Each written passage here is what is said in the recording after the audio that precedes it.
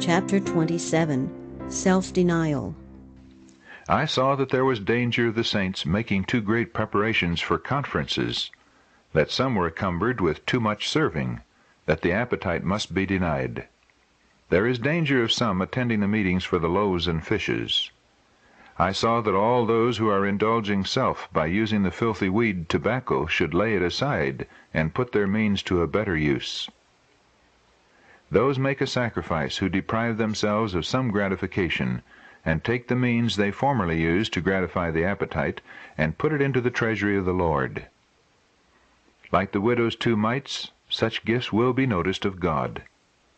The amount may be small, but if all will do this, it will tell in the treasury. If all would study to be more economical in their articles of dress, depriving themselves of some things which are not actually necessary, and should lay aside some useless and injurious things, as tea and coffee, giving to the cause what these cost, they would receive more blessings here and a reward in heaven. Many think that because God has given them the means, they may live almost above want, can have rich food, and clothe themselves abundantly, and that it is no virtue to deny themselves when they have enough.